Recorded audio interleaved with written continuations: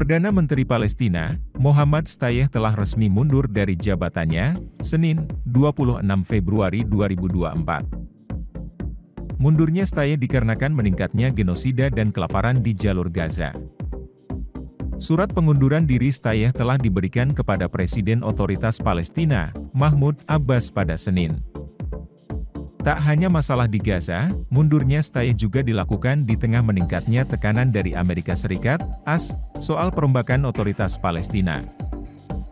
Tekanan AS ini memungkinkan Palestina dapat mengambil peran lebih besar dalam memerintah Gaza pasca perang. Meski telah mengajukan pengunduran diri, Stayeh diminta Abbas untuk tetap menjabat sebagai pengurus sampai pengganti permanen ditunjuk. Abbas diperkirakan akan memilih Muhammad Mustafa, Ketua Dana Investasi Palestina, sebagai Perdana Menteri berikutnya. Langkah ini menandakan kesediaan kepemimpinan Palestina yang didukung Barat untuk menerima perubahan yang mungkin mengarah pada reformasi yang dipandang perlu untuk merevitalisasi otoritas Palestina. Pemerintahan Presiden AS Joe Biden memujinya sebagai langkah positif dan penting menuju penyatuan kembali Gaza dan tepi barat di bawah naungan otoritas Palestina.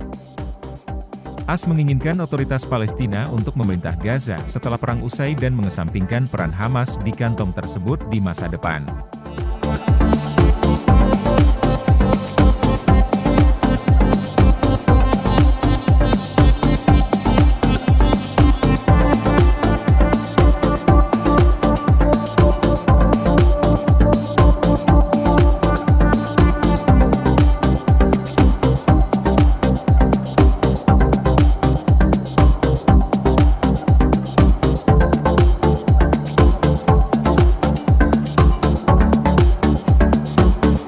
Download Tribun X sekarang.